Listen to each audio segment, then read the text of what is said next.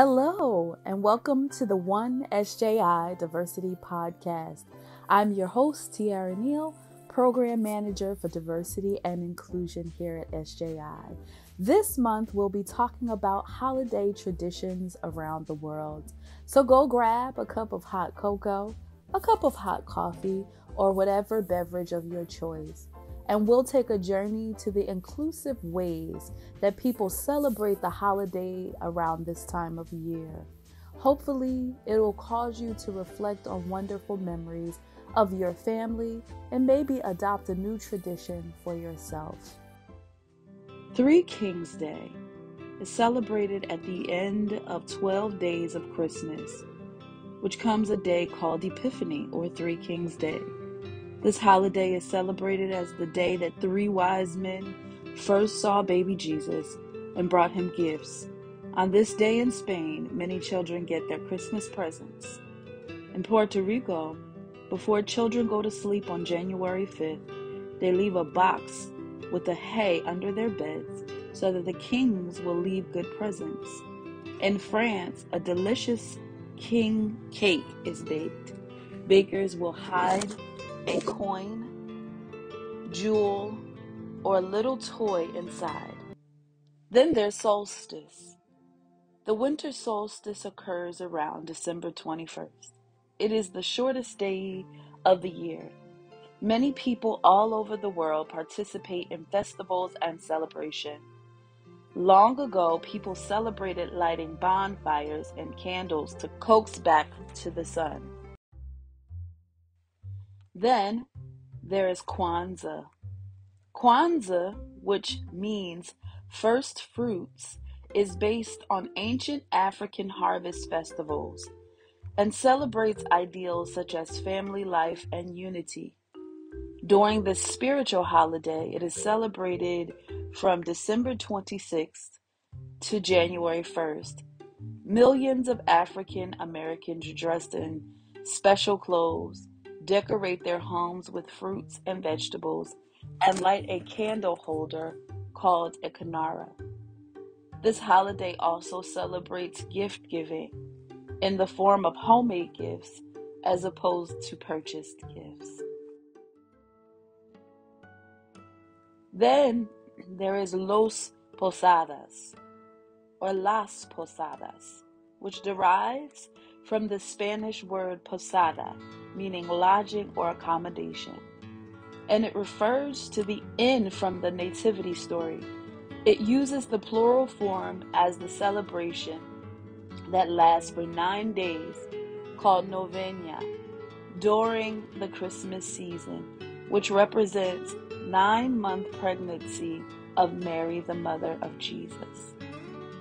Also around the world is St. Lucia Day, Many also celebrate this within their homes to honor the third century saint on December 13th. Many girls in Sweden dress up as Lucia brides in long white gowns with red sashes and a wreath of burning candles on their heads. They wake up their families by singing songs and bringing them coffee and twisted saffron buns called Lucia cakes. Then there is Christmas. People celebrate this Christian holiday by going to religious services, giving gifts, and sharing the day with their families. In some parts of Europe, star singers go caroling, singing special Christmas songs as they walk behind a huge star on a pole. The Christmas festivities in Ireland tend to be more religious in nature rather than being about gifts. Christmas celebrations last from Christmas Eve until January 6th, Epiphany, or Three Kings Day.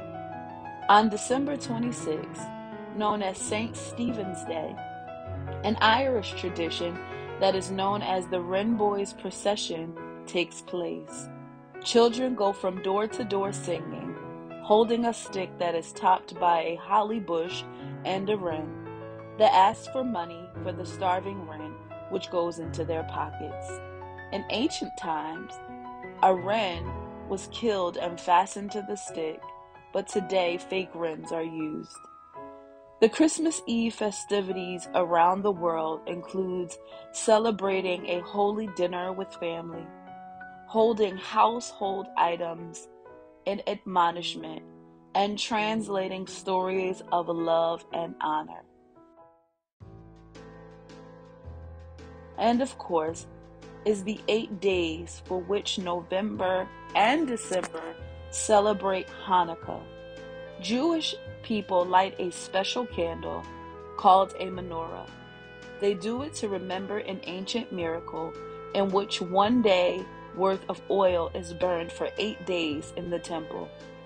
During Hanukkah, many Jewish people eat special potato cakes called latkes, sing songs, and spin a top called a dreidel to win coins, nuts, or raisins.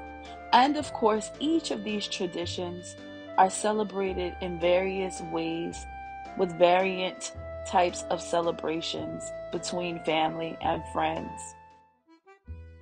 The Feast of Seven Fishes is a part of the Italian American Christmas Eve celebration. Although it is not called that in Italy, it is not a feast in the sense of holiday, but rather a grand meal. Christmas Eve is a vigil or fasting day, and the abundance of seafood reflects the observance of abstinence from meat until the feast of Christmas Day itself. Today, the meal typically consists of seven different seafood dishes. The tradition comes from southern Italy, where it is known as the Vigil. This celebration commemorates the wait for the midnight birth of baby Jesus.